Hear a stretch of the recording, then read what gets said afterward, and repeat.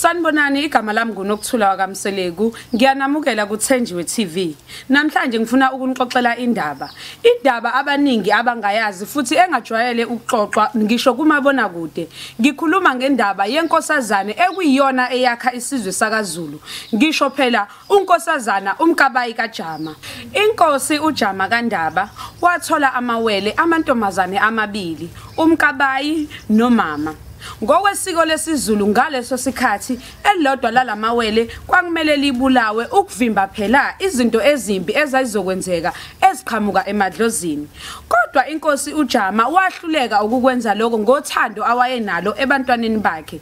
Wakhetha ukuthi awayeke womabili amawele aphile. Lesenzo senkosi uJama isizwe sakaZulu sonke asizange sisibuke kahle. Bonke abantu babesaba ukuthi kukhona okuzokwenzeka esizweni sakaZulu okubi njengoba amawele eyekiwe aphila womabili nganangempela ke lokho kwenzeka kwabe sekudlula emhlabeni uNdlunkulu unkosikazi kaJama engazange amthole umntwana womfana okuyena owayezothatha ubukhosi bakaZulu uma kukhothama inkosi uJama. Isizwe sakaZulu sabe sesiyaqala ke saba nenzondo. Inzondo yabo yabe sebeyibhekisa kumkabayi ngokuba umkabayi uyena owayenekhanda eliqinile. Babecabanga ukuthi uyena umkabayi okwakumele abulawe phakathi kwamawele. Ngokubona lokhu umkabayi wabe esecabanga ukuthi makatholele ubaba wakhe intombi phela ekuyiyona ezomzalela indlalifa ukuze ubukhosi bakaZulu bungaweli ezizweni zangaphandle. Ngaleso sikhathi ke inkosi uJama khona intombi awabe eseyitholile eyayisivele izithwele ngaleso sikhathi. Yabe lo ntombi isizala indodana ogama layo okwakuthiwa usojiyisa. Le ntombi ke kwakuyintombi yasemantsongeni.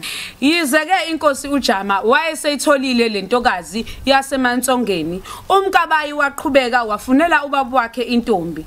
Nangempela wathola intombi ogama layo umthaniya. Ngokuzwa lokhu inkosi uJama iyajabula kakhulu yathi nenze ngakhona Nangempela ke umthaniya wathola umntwana womfana owaqanjwa ugama lakhe ngusenza ngakhona. Ngeshwa ke inkosi uJama wabe eseyakhothama. Ngisho phela ukuthi wadlula emhlabeni. Ngaleso sikhathi usenza ngakhona wayesamncane kakhulu ukuthi angahlala ehlalweni sobukhosi. Umkabayi ke wabe esethatha isinqumo ukuthi njengoba umfowabo esamncane wazibeka yena waba ibamba lenkosi ukuze phela usenza ngakhona aze akhule ngokwanele ukuze ahlale esihlalweni sobukhosi. Lokhu umkabayi kwamenza umuntu wokuqala ngqa wesifazane owake wahlala esihlalweni sobukhosi sakwaZulu. Isizwe sakaZulu sasingajabulile neze ngesenzo sikaMkabayi sokuhlala esihlalweni sobukhosi.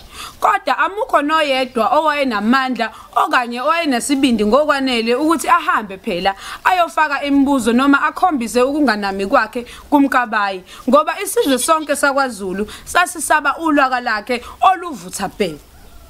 Umkabayi ke wabe esethola ukusatshwa kakhulu isizwe sakaZulu emva kokuthi akhiphe umyalelo ukuthi kuyobulawa usojiyisa nebutho lakhe elinamandla kakhulu.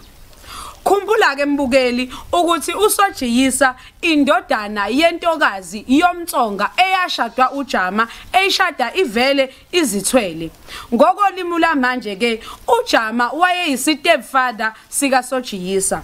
Umkabayi ngokubuka ukuthi usojiyisa wayekhombisa izimpawu zokufuna phela ubukhosi okwakumele buphathwe usenza ngakhona. Wabeke esekhipha umyalelo ukuthi makabulawe usojiyisa ngokubuka phela ukuthi usojiyisa wayezalwa intokazi yasematsongeni. Umuntu okwakufanele aphathe ubukhosi bakaZulu uyena usenza ngakhona okuyena indodana yesende qobo likaJama. Yahamba iminyaka esahleli kusona isihlalo sobukhosi umkabayi. Wathi esekhule ngokwanele usenza ngakhona wabe eseyagudluka umkabayi esihlalweni sobukhosi wadedela umfowabo ukuba athathe indawo yakhe emfanele.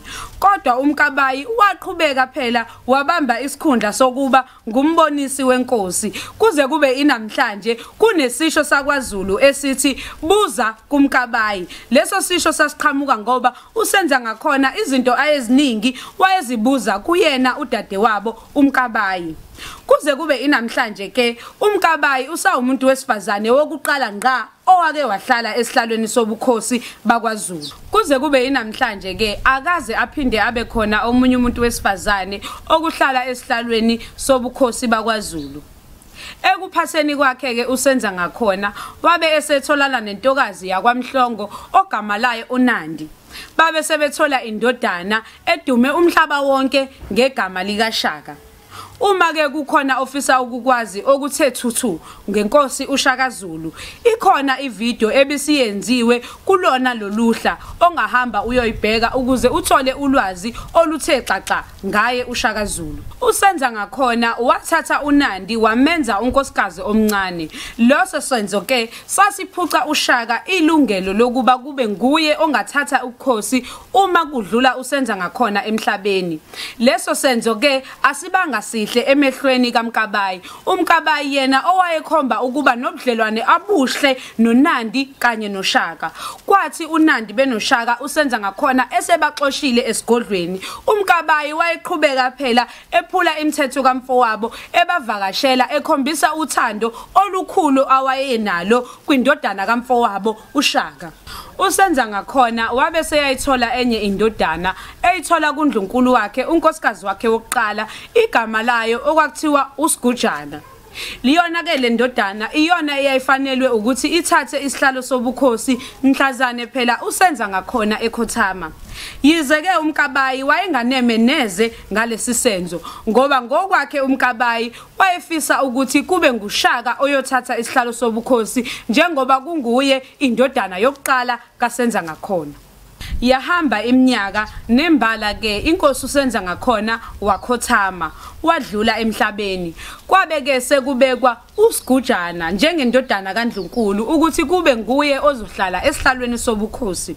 Umkabayi akazange asithande neze lesisenzo ingakho ke wabe esenza itulo lokuthi makubulawe usigujana ukuze phela kubekwe ushaka kube uyena inkosi yamaZulu. Nangempela ke ubukhosi basigujana kwaba nje unyaka owodwa vo wabe eseyabulawa ngwaqhwakela esihlalweni ushaka waba inkosi yamaZulu. Ngokuhamba kweminyaka ke ushaka ehleli ehlalweni sobukhosi kwabe sekwenzeka umshophi kwadlula uNandi emhlabeni uma wakhe phela ushaka. Ushaka wabesezwa umunyu kakhulu lokho wakukhiphela esizweni sonke sakwaZulu. Wabe esekhipha umyalelo ukuthi akubulawe inqwaba yamaZulu ngoba wayenesifiso sokuthi wonke umuntu ezwe lobuhlungu ayebuzwa emva kokuthi ashiwe emhlabeni uma wakhe. Ngokubuka lokhu ke umkabayi wabe seyabona ukuthi ushaka uselahlekelwa umqondo uzowaqeda wonke amaZulu. Ingakho ke umkabayi wabe esehlangana nodingane nomhlangane amanye amadodana kasenza ngakhona ukuthi akwakhiwe itulo lokuthi abulawe ushaka angaze enze phela umonakalo omkhulu esizweni sakwaZulu. Emva kokukhothama kwenkosi uShaka ngokuthi phela uShaka wayengazange abe nendodana eyayingathatha isihlalo sobukhosi emva kokukhothama kwakhe. Kwabe sekuphatha umhlangana umfowabo phela enye indodana kasenza ngakhona.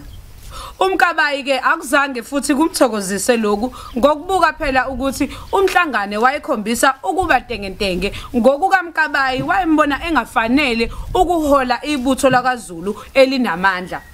Igakho ke umkabayi waphinda wakha itulo ukuthi makubulawe umhlangane ukuze phela kuzohlala esihlalweni sobukhosi udingane ngoba yena wayembona efanele ngokwanele ukuphatha uZulu. Emva kokuhamba kweminyaka inkosi uDingane ephethe. Wabe seyadingiswa umkabayi waxoshwa phela esizweni sakaZulu. Kwaze kwaba uyaguga uba isalukwazi umkabayi edingisiwe engasekho kwaZulu. Lapho ke waguga waba isalukwazi ehleli yedwa enomzwangedwa futhi ehlala nokuzisola ngabo bonke abantwana bakamfowabo abesebehambile ngenxa yomyalelo wakhe. Abaningi ke umkabayi bamazi njengomdadwabo kasenza ngakhona okuyena phela owakhipha umyalelo wokuthi makubulawe ushaka.